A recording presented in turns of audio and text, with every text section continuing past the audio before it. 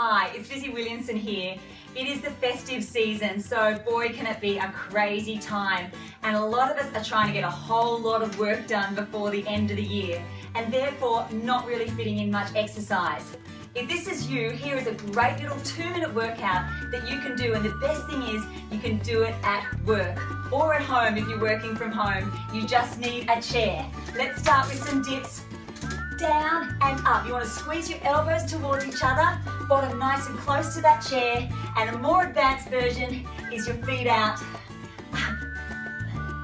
Eight of those. Now we sit back on the chair and we're going to cycle your legs out. You want to bring your belly button back towards your spine and a slight curve under here so you're protecting your lower back. Now we go the other direction.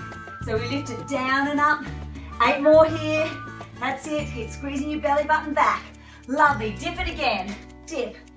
Two, three, four. More advanced. Five, six, seven, and eight. Back in the chair. Cycle it out. Yeah, and I'll show you the other way again.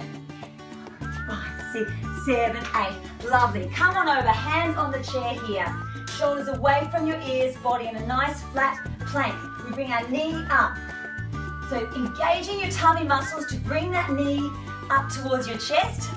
And now we twist it to the opposite elbow. So we're going to get into the side of our waist a bit more. Six, seven, and eight.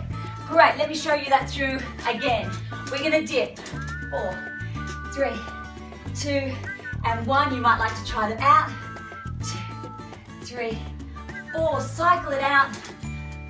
Three. Yeah, that's it. Bringing the belly button back towards your chair. And eight. I'll go straight through into this one. Let's go. In, two, three, four, five, six, seven. Cross it over.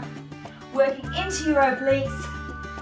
Four more. Four, three, two, and one. Oh, and you know the best thing about that as well is you get this energy hit and a bit of exercise can help you get more clarity and more focus for the rest of your day so you'll get more work done anyway. I hope you enjoy that. I'll see you at the next workout.